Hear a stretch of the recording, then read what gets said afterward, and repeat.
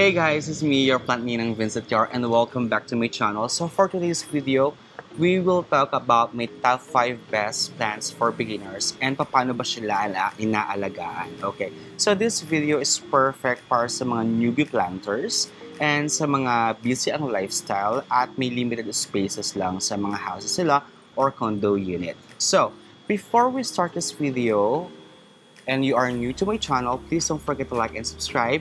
And also, tap that notification button or notification bell para ma-notify kayo sa mga new and upcoming videos ko regarding with plans and tips, okay? So let's start our top 5 best plants in no particular order, okay? So starting off with the Zizi plant.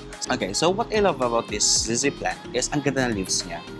Okay, so very tropical ang look, very tropical ang, ang ano niya, ang peg niya, pero to be honest, this is a, parang siyang succulent plant. They really hate water. They really hate um, stagnant water. Ayaw na nagkakaroon ng moist masyado yung soil nila. At the same time, gusto nila is yung dry lang.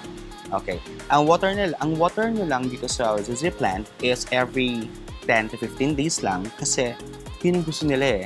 The less water, the better for them. And they don't like direct sunlight unlike other plants that gusto direct sunlight. But this one, they want partial shaded or shaded area. So this one is perfect para sa mga may small spaces lang. Guys, sorry medyo maingay kasi tanghalin to pa. At the same time, nandito ako sa may fourth floor at marami dumadaan sa likod ko na sasakyan. At the same time, ang hangin din. That's why ang gulo yata ng hair ko ngayon. Okay, so let's back to the plants. So ito nga, So they love shaded areas. So perfect to sa mga room ninyo or sa office table ninyo kung sa office kung gusto niyo maglagay ng plant sa office, perfect to as in. And that's it for the Zezi plant. So for our next plant, we have the peace lily. Okay, this is the peace lily. It's so beautiful, right? Ang ganda niya, sobrang ganda niya. This is one of my favorite plants na meron ako and doon sa garden ng mami ko. I love this one kasi ang ganda ng dahon niya ang healthy ng dahon niya, ang ganda niya. Maingay. so, yun nga. So, ang ganda ng dahon niya, grabe. Meron ako malaki dito, wait. Papakita ko sa inyo, ha? Okay, so ito yung malaking peace lily ko. Look. Ang ganda ng dahon niya, right? Super ganda ng dahon niya. Parang, ang healthy-healthy, ang happy-happy lang niya lagi. Okay? So, baba natin to kasi masyado siyang malaki for my space. So, let's go back dito sa maliit. What I love about this um, peace lily is ang ganda niya. It's a modern minimalist plant kasi because of the flower na white. Usually white to means in green. It depends sa variant siguro ng, ng peace lily ninyo. Pero ang ganda nito kasi very um, low maintenance lang siya. At the same time, you can put it anywhere in your house kasi they love shaded or part partial shaded areas. So perfect din to kasi nag eliminate siya ng bad odor and toxins sa air. So nag-purify din siya ng air sa loob ng bahay ninyo or sa loob ng room ninyo. So this is a very healthy plant para sa inyong house. At the same time, it gives you this good mood aura kasi nga ang ganda-ganda niya. Okay, how to water this? You need to ju you just need to water um, your peace lily every week. So, 5 days, ganyan, 7 days. Once a week lang siya dinidiligan. And you just need to drain every water kapag nag nagdidilig kayo and then make sure na wala siyang stagnant water sa loob to prevent root rot. Okay? So, it. Ilagay nyo na sa place nyo. Maganda to sa bedroom or sa banyo or sa sala ninyo if you have sala. Ganyan.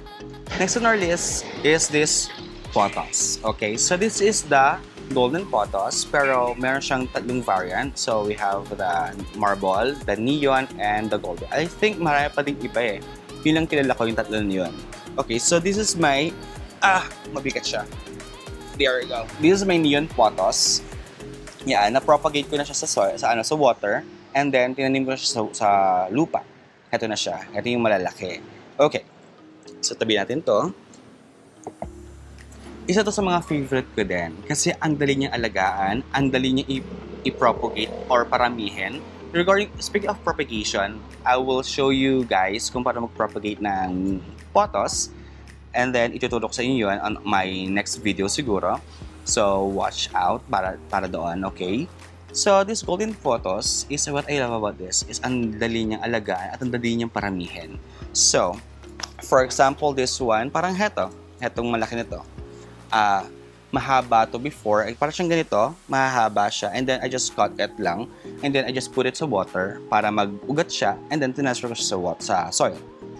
Okay, so this one naman, ganun din.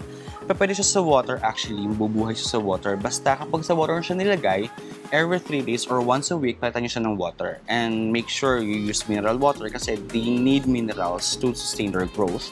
And at the same time, if soil naman, well-drained soil ang kailangan ninyo. Okay, so kapag sa soil siya, ita-plant or itatanim, ang ingay naman motor, kung ano man yan, may bumusina pa. So, yun nga ang ingay dito. Sorry ha. Kasi nasa labas talaga ako. Anyway, so yun. So kung sa water, kung, kung sa water tuloy, kung sa soil siya ipa-plant, make sure na well-drained soil ang gamit ninyo. At the same time, once a week, Yan. So, once a week nyo lang din siya didiligan. Okay? Make sure i-drain nyo yung water niya para ma-prevent ang root rot niya. Okay? Kaya ang dali-dali nito. You can actually put it sa water sa pot, or you can just hang it. Actually, maganda to pag hang.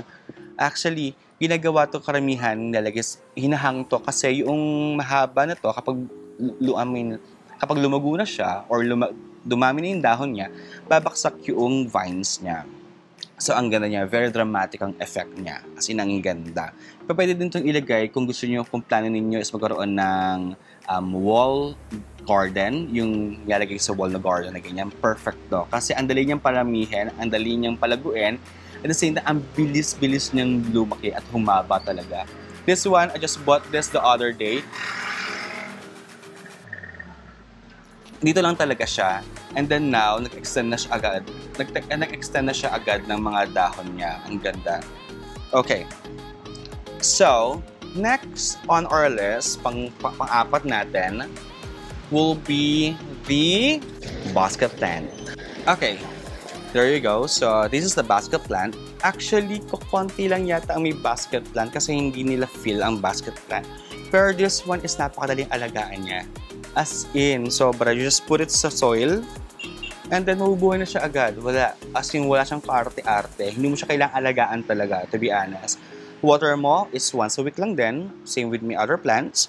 And then what's good with this plant is nakaka-filter din siya ng air. Yun ang gusto ko sa kanya. Nakaka-filter siya ng air, nakaka-refresh siya ng look. At the same time, ang bilis siyang dumami. Look, oh.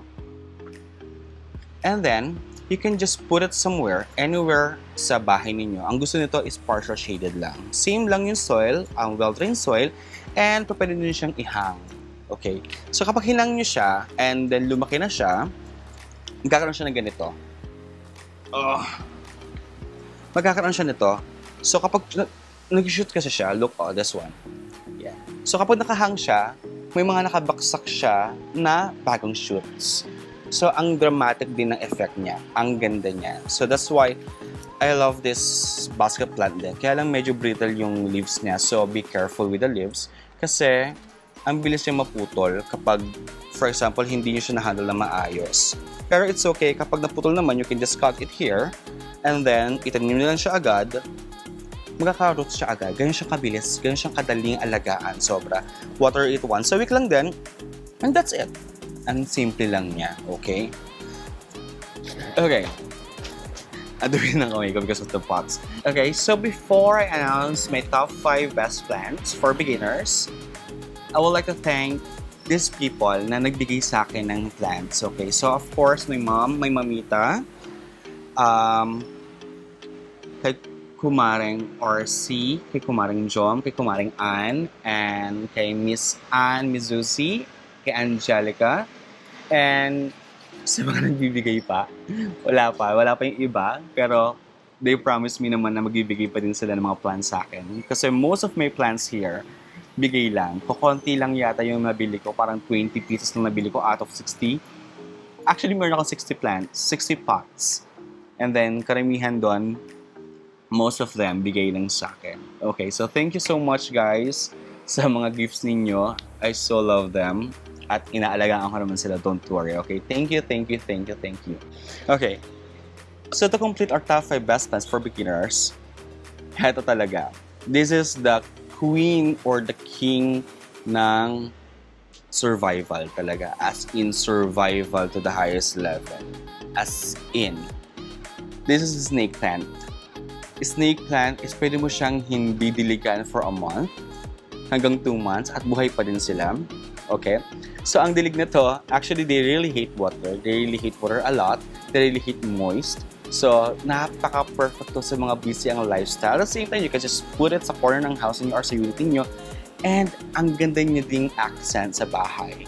And it also purifies toxins, purifies air, and it filters air din sa room ninyo, and it gives you pure oxygen. At may sasakyan na naman po, ladies and gentlemen. Ang lakas ng hangin, nagugulo yung hair ko.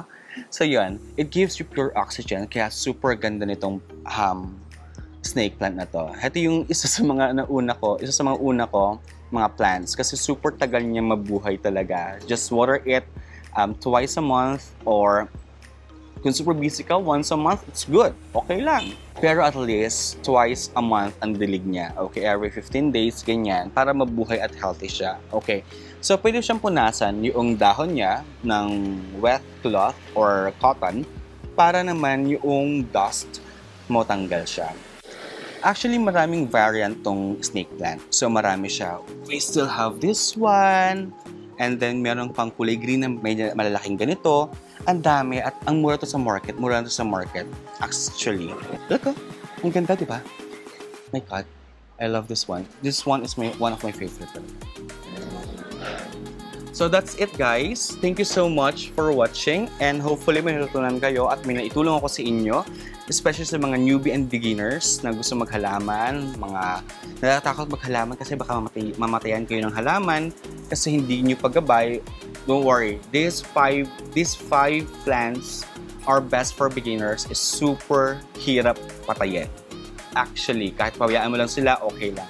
Okay, so before we end this video, please, if you like this video and nag-enjoy naman kayo at may natutunan kayo, please don't forget to like and subscribe, okay? So again, it's me, your um, Plant Ninang, Vincent Yor, and see you again next time, okay? Take care. Bye!